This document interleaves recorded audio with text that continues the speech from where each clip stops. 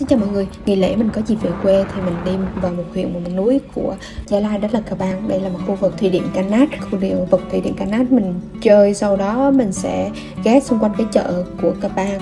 À, Mình xem thử có cái gì hay và mình sẽ mua về ăn nha. Đây là khu vực à, thủy điện nha mọi người. Mấy năm trước mình lên thì họ mở cửa cho mình vào cái lối này được Nhưng mà năm nay lên thì họ lại ra lại chắc vì nguy hiểm họ không cho vào.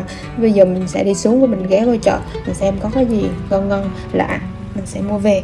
Thì mình có mua được một cái cua đá. Cua này lúc trước mà mình hay đi thác á, thì mình sẽ bắt được một vài con nhưng mà nó không có to như thế này đâu. Với lại khó bắt lắm nó chạy nhanh lắm nha mọi người. Con cua này bây giờ mình sẽ luộc và mình chấm với muối. Nó rất là khỏe mình bỏ đá để cho nó chết dần. Trước khi mình nấu nhưng mình nó không có chết nên là mình bỏ vào mình nấu luôn.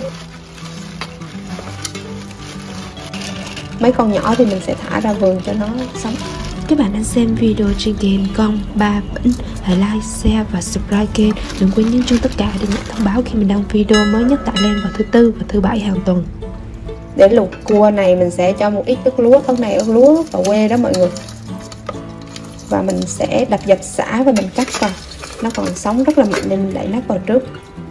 Cái con này khi mình luộc á, mình phải đấu tranh giữa cái nắp này lắm luôn á. Thì nó rất là mạnh. Khi ờ, lửa lên á, nó nóng thì nó sẽ bung nắp ra cắt xong rồi mình sẽ cho xả vào luôn. Xả vào nhiều cho nó thơm. Con này nó sẽ tự nhiên rồi suối mọi người. Thì mình sẽ cho thêm một ít bột ngọt với hai can nước để mình nấu. Con này mình sẽ nấu hơn cua biển, lâu hơn một chút cho nó vỏ nó rất là dày. Nên mình sẽ nấu lâu.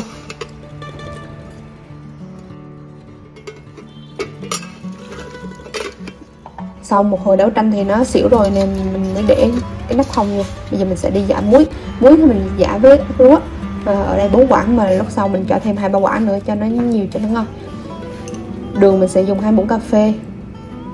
Bột canh mình dùng một muỗng cà phê. Bột ngọt mình dùng hai muỗng cà phê. Sau đó mình giả cái ờ, hỗn hợp muối này lên.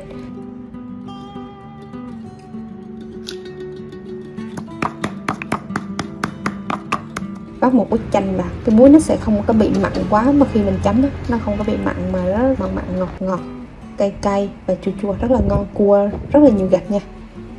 Con nào mà to thì ăn, mình phải lấy cái chày mình đập luôn, cái càng này cực kỳ to luôn. Con cua đá mà cái càng này là to lắm, mình phải dùng cái chày để mình đập ra để ăn được. Thì cua đá rất là chắc nhưng mà vị rất là tự nhiên, rất là thơm.